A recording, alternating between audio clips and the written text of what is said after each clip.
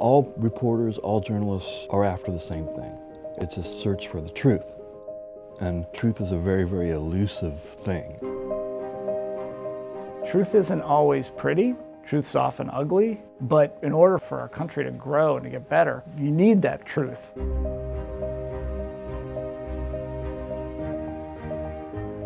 Focusing on government is important because government touches almost every aspect of our lives.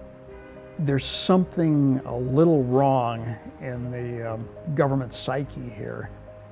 Anybody who's lived here for any period of time knows about the machine.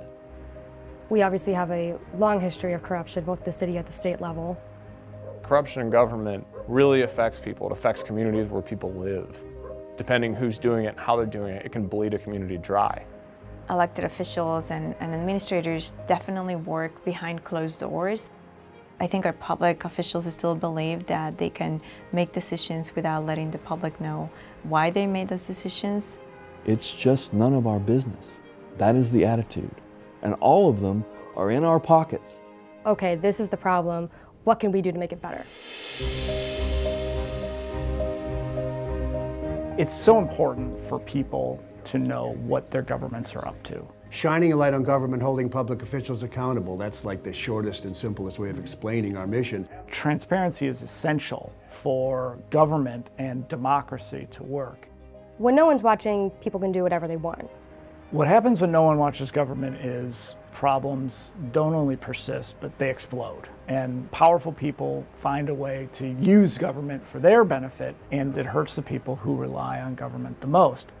You deserve to know all of the decisions that are being made and what went into those decisions. You know, bring out some of that scathing sunlight and put all the cards on the table so that people can see what's, you know, happening in their own backyard.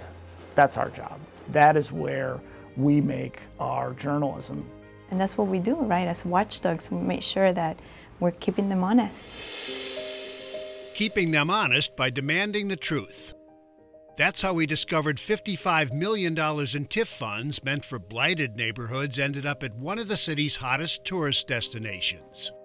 And what I discovered was that the $55 million didn't really go for the hotel that they said it was going to go for. The money was basically going out the back door of the hotel and being handed over to the folks over at Navy Pier to spend on whatever they wanted. Whose money? Our money. Some activists out here demanding that Navy Pier and the mayor return $55 million in TIF funds, money they say should have gone to Chicago public schools.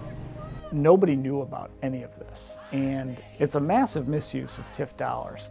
We also unearthed waste and neglect at the Chicago Housing Authority. What we found was that the Chicago Housing Authority was not protecting seniors and that a lot of politically connected companies were getting contract after contract even when they had a history of cost overruns and the projects being delayed. Seniors were suffering, seniors were struggling and the agency that was tasked with protecting them didn't do its job. And in a tragic matter of life and death, we investigated the Chicago Public Schools failure to safeguard the life of a special needs student who drowned in a high school swimming pool. What we found was mass disorganization, six adults essentially watching 70 children in a pool. And Rosario, a 14 year old boy with autism who couldn't swim and wasn't wearing a life vest, got lost in the shuffle. And within minutes of him entering the pool, he's found at the bottom of the deep end.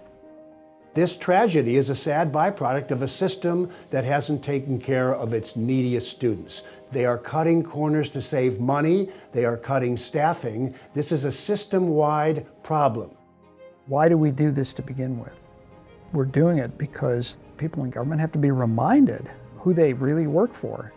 Government is funded with our money. I mean, there are literally billions of dollars being spent by public officials of our money. And watching how they spend our money is an incredibly important thing. What readers should know when they see a BGA logo attached to a story is that these are important stories that affect their life. We want to make government better. We want to make government do those things that Andy always talks about accountability, efficiency, honesty, integrity. Those are good things. And, you know, to the extent that government doesn't live up to those ideals, our job is to try to force them to live up to those ideals. And that's our, our specialty here at the BGA.